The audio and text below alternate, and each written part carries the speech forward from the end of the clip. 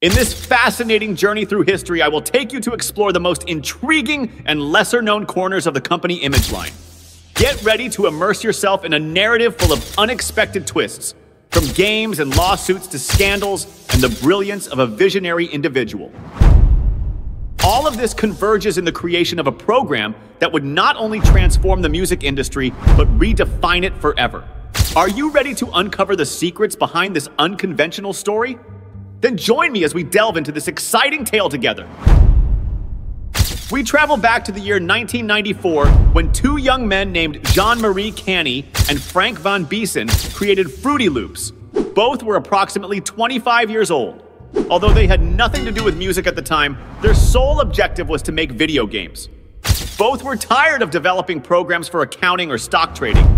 And at that time, with releases like the Nintendo 64 and the PlayStation 1, they thought it would be a good idea to venture into the world of video games, but on computers instead of home consoles. However, their first game was not what you would expect. It was Porntris, an adult version of Tetris released in 1992, two years before they officially consolidated as Imageline. The game was basically the same as Tetris, with the small difference that in the background where the pieces were placed, there were images of naked women, and on one side of the screen, animated GIFs of people doing the famous Fruity Fantastic would appear as you completed rows. In fact, the game is still available if you want to play it. I'll leave the link in the description in case you want to play it. Imageline made a couple more games, but it was in 1996 when things began to take an interesting turn. IBM organized the Da Vinci contest for software developers with different categories, in which they participated and won the multimedia category, but lost the global prize against a young, crazy genius from France, a nerd named Didier Dambrin, better known as Gol. Didier won the video game category and the global prize. Immediately, Jean and Frank recognized Gol's talent and contacted him to offer him a job at Imageline, which he accepted. The first game they developed together was Private Investigator, a video game where you control a private investigator to solve cases, beat up gangsters, and have fun with pixelated women. The three of them continued to release a couple more games, but in 1997, Gol started working in his spare time on a secret project inspired by the Rebirth 338. He developed a small drum machine application, that is, to create sequences and drum beats quickly and easily. This little humble program was called Fruity Loops. Gol showed the program to the founders, but they had doubts because it had nothing to do with their existing products. Even so, after thinking about it, they decided to release it as a free demo in December 1997, along with one of their games. And what happened? Well, the program began to be so popular that Imageline's servers collapsed due to the number of downloads people were making. The demo was a success because its interface and way of handling it were very similar to some PlayStation video games like Music Creator or Music 2000, with the difference that you were not restricted to the loops or preloaded sounds in the game, but you could do much more. Jean and Frank realized they had something interesting on their hands. It was at that moment that the policy of free lifetime updates was born. But they needed money soon to be able to pay for the servers and development. So they asked Gol to create a clone of the eJay program, which they called Fruity Tracks, to be able to sell it to amateurs, the toy manufacturer. As a curious fact, the famous FL Studio logo is a fruit that doesn't exist. The original concept was developed by Gol as a combination of a strawberry and a mango. However, by pure chance, it ended up looking a lot like a Japanese fruit called kaki, or persimmon in English. But things were not so simple. Despite the demo having many downloads, there were very few people who were actually paying for the full version. In fact, during the first years of the program's existence, they were several times on the verge of bankruptcy. But their biggest problem was still to come. The name Fruity Loops was not considered serious at all. First, because the word fruity didn't have much to do with music, and secondly, the word loops was misunderstood because it seemed that the program could only work with pre-made loops instead of creating your own compositions. But the most important thing was that the name was too similar to Froot Loops, a famous cereal from the Kellogg Company. Kellogg's threatened to sue Mellon for plagiarism, even though although the name was similar, the products were actually completely different. And Mellon knew they could win the case because in Europe they had already been granted the name Only America was missing. But being such a small company, they didn't have the time or the money to endure a trial that could easily last for years. So they decided to change the name from Fruity Loops to FL Studio in 2003.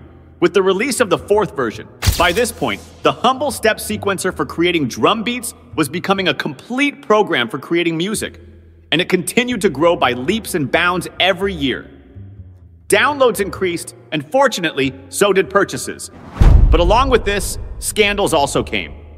One of the most notorious was in 2007 when rapper Soulja Boy confessed to creating his hit Crank That using a demo version of FL Studio 6. The song generated him millions of dollars, but he hadn't paid for the program. So technically, he had no rights to that song and the entire album he made with the demo version of FL Studio. Despite this, it cannot be denied that FL Studio gave many producers and rappers the opportunity to start their careers with a very accessible and powerful program in an industry where before you couldn't get in if you didn't have a contract with a major record label. The program continued to gain popularity and many more downloads, even though industry professionals only saw it as a toy for children.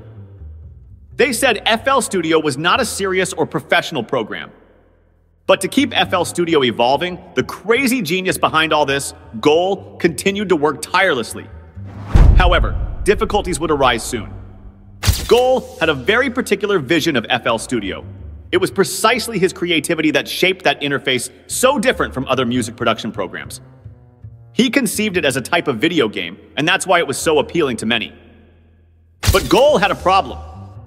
Like any good crazy genius, he was somewhat eccentric and unpredictable. Sometimes stubborn, sometimes obsessed, and that led to conflicts. For example, in the FL Studio forum, he used to respond sarcastically or even rudely to customers and suggestions for features they gave him. He also had problems with the founders who wanted to take FL Studio in another direction, such as having compatibility with Mac. But Gol often did what he wanted instead of following the instructions he received. It was as if his opinion was the only one that mattered to him. FL Studio was his passion, more than a business. But unfortunately, if FL Studio didn't start developing the features it needed in the future, it couldn't continue to develop it either. This is because, despite having increasingly more sales, development was still being subsidized by the other businesses and programs ImageLine had. In reality, Florida Studio still didn't generate enough profits. Additionally, up to that point, Gol worked practically alone in programming and didn't want help. He didn't like working with other programmers. So there were only two possibilities. Either he adapted or he left. In 2015, after 20 years of intense work day and night, Gol decided to leave ImageLine. The main reason was that he didn't want to get involved in adapting FL Studio to Mac, as that meant reviewing more than 10 million lines of code. The other reason is that he wanted to dedicate himself again to video games and Lego model design. But he will definitely always be remembered for leaving us gems like Sytrus or Harmor, synthesizers that are still considered among the most powerful on the market today. In addition to his dedication to FL Studio, ImageLine had to hire 10 new programmers just to replace what Gol was doing. But thanks to that, they also managed, after reviewing all those millions of lines of code, to release the native version of FL Studio for Mac. It's the same reason why, from that date on, Florida Studio updates began to be more frequent and increasingly larger, becoming one of the most popular and powerful music production programs today.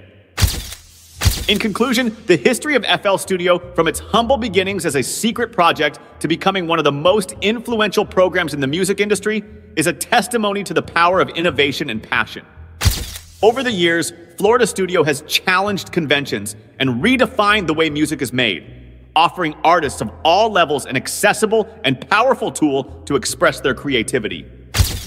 If you found this fascinating story interesting and want to continue learning about music and technology, don't forget to subscribe and share this video with your friends.